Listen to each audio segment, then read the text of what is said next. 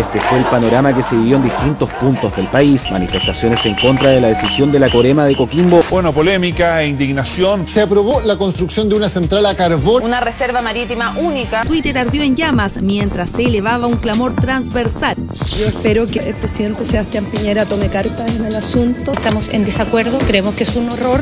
No estamos dispuestos a hipotecar nuestra naturaleza. Se opongan con toda la fuerza que sea necesaria a esta termoeléctrica que quieren poner en un santuario maravilloso. Y hemos acordado con SUE cambiar la ubicación de la central Barrancones.